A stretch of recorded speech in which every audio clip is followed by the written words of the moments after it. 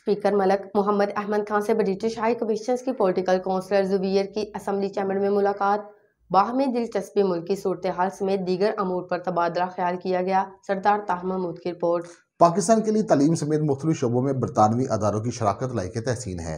पार्लिमानी वफूद के तबादले, मुआशी तावन और अवामी सतह पर रबतों से दोनों ममालिक के मबैन ताल्लुक को मजीद मुस्तहकम किया जा सकता है।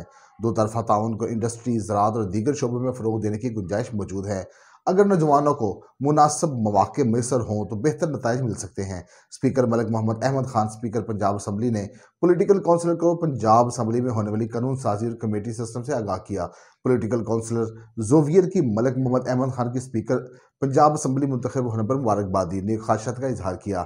इंग्लैंड में लाखों पाकिस्तानी मुख्तु शोबों में शानदार तरीके से खदमात सर अंजाम दे रहे हैं। पोलिटिकल काउंसलर जोवियर बरतानिया और पाकिस्तान के मबैन खुशगवार ताल्लुक बढ़ाने के लिए हम अपना भरपूर किरदार अदा करेंगे। इस मौके पर secretary Punjab assembly Chaudhry Amar Habib additional secretary Malak Khalil Ahmad staff officer बरए स्पीकर अमाद हुसैन भल्ली और तर्जमान असम्बली राव माजिद अली भी मौजूद थे।